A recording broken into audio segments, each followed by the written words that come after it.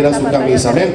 Bueno, vamos a dar lugar ya a nuestros amados hermanos. Dejo el lugar a Gregorio para que presente a nuestros amados hermanos desde Colombia. Así que den una ofrenda de palmas al Señor por la bendición que ha estado trayendo estos tres días. Bienvenido, Gregorio. Mis hermanos, Dios los bendiga en esta hora.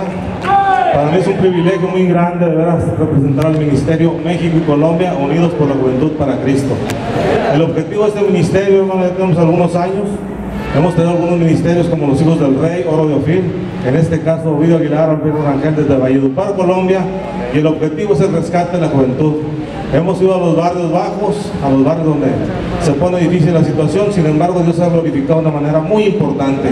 Dios se ha glorificado con poder con todos aquellos jóvenes que andan en pandillas, en grupos, en las esquinas, a esos vamos a ir y le pedimos oración porque queremos en este 2013 inaugurar la primera iglesia Vallenatos para Cristo, que es para todos los jóvenes que están en las esquinas, que no les dan trabajo, porque andan tatuados, traen aretes.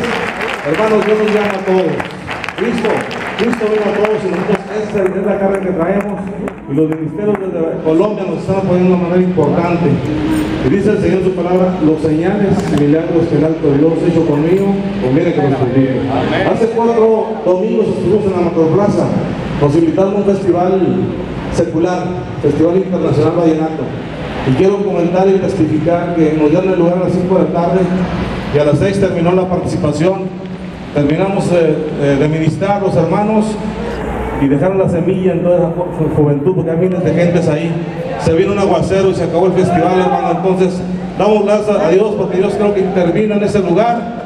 Se dejó la palabra, se dejó el mensaje a toda esa gente y se acabó el festival. Entonces, mis hermanos, estamos llegando a esos lugares para que la gloria de Dios se glorifique. Hemos estado en estaciones también seculares y la música de estos hermanos se ha, se ha escuchado tremendamente. Están pidiendo a las personas esta música que trae unción de lo alto. Entonces, mis hermanos, quiero darle gracias a Dios porque Dios es bueno y para siempre su misericordia. Mientras yo trabajo aquí para el Señor, Dios, se encarga de todas las cosas allá afuera. Usted que piensa que Dios no tiene control sobre todas las cosas, Dios las tiene. Si usted le es fiel y usted le sigue y usted le cree. Créanle al Señor Jesucristo y su familia, aunque esté lejos. En la presencia, en la distancia, Dios tiene control, mandar ángeles para que la gente que hace salve sus hijos, que hace tiempo no los ve, Dios va a tocar ese corazón de ese hijo. Mis hermanos, tenga confianza en el Señor, tenga fe en el Señor, que Dios cumple lo que promete. Nuestros hermanos con ustedes, nuestro hermano Ovidio Aguilar, Alberto Raquel, desde Bayupar, Colombia, para Cristo y para ustedes, hermanos.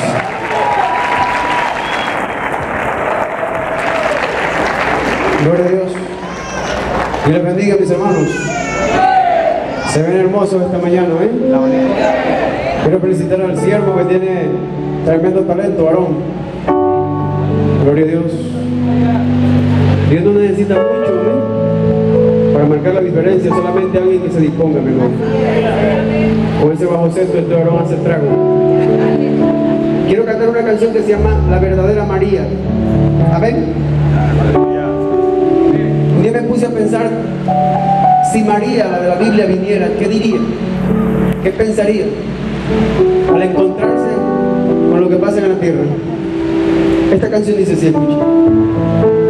¿Qué pasaría si la María de la que habla la Biblia hoy apareciera?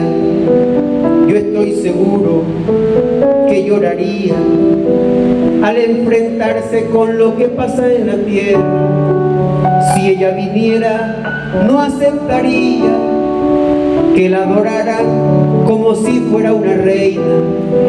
Sería un baldado de agua bien fría para todos los que la adoran, la veneran.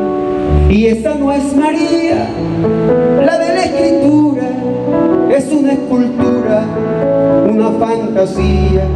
Y esa no es María, la llena de gracia, es solo un pedazo de madera fría. La verdadera María fue un vaso que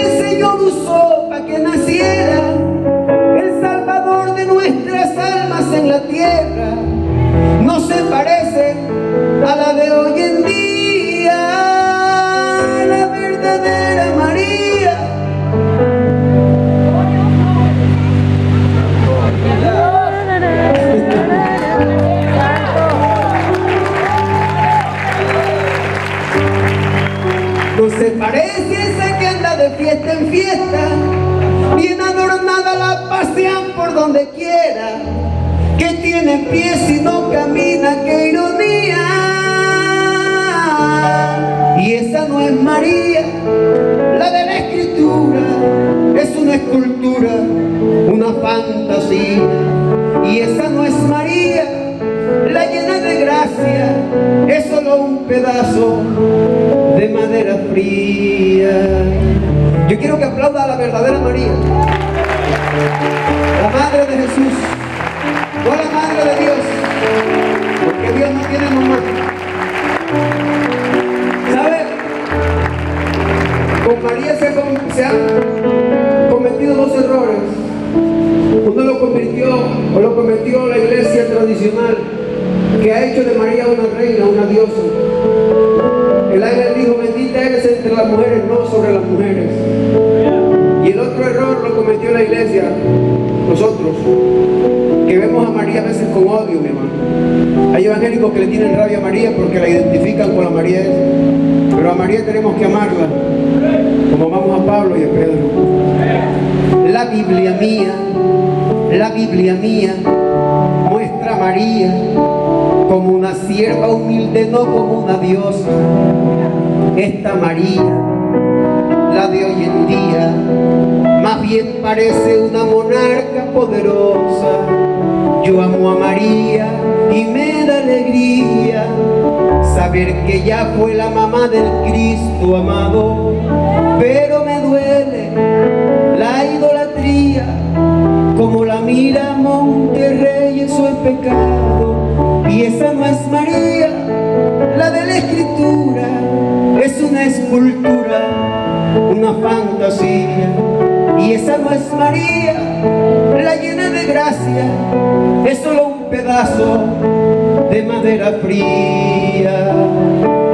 La verdadera María, ella jamás aceptaría que alguien la adore. La adoración solo es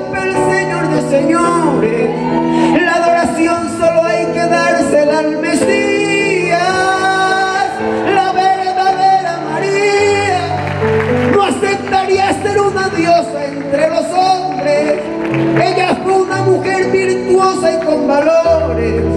Así está escrito, lo dice la Biblia mía. Y esa no es María, la de la escritura. Es una escultura, una fantasía. Y esa no es María, la llena de gracia.